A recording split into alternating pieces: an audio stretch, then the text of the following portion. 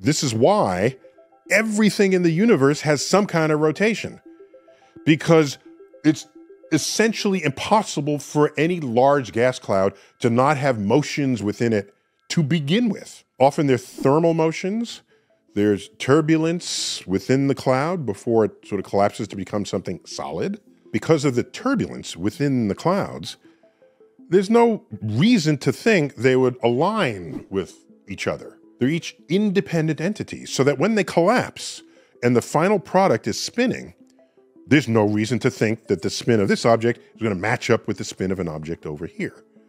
We have every reason to presume that there's no net spin direction of the universe or objects within it. So if we find and confirm that there is, we got to go back and ask, how could you get that, given our expectations of randomness? Well, that was linked to the idea that we might be in a black hole. Here's why.